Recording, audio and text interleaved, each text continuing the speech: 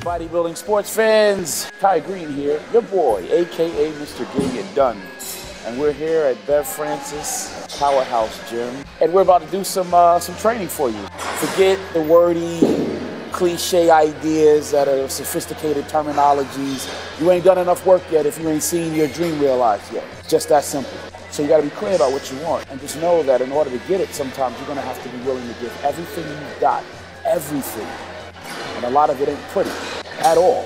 So plateaus and throw that shit out the window.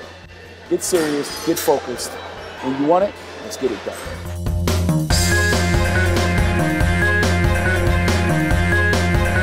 So in the beginning, you saw me do three variations of a pull down, a reverse pull down, concentrating on my upper back, which technically is your shoulders.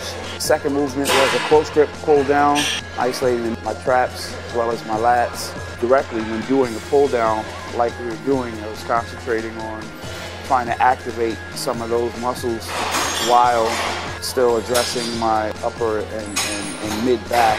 From there, we went into standard grip pull down.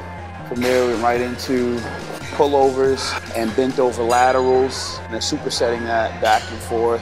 So by the time I got to my clean the presses, my back was very warm. Also my biceps, you know, you run less risk of injury because you're very, very warm. You got enough blood pumped in everywhere.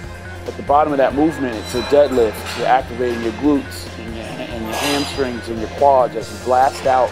It becomes a really good total body exercise, believe it or not. And I think overall it starts to help with overall conditioning, believe it or not. You know, you feel the weight. Being 300 pounds, almost don't want to move. Um, exercises like that help me stay mobile.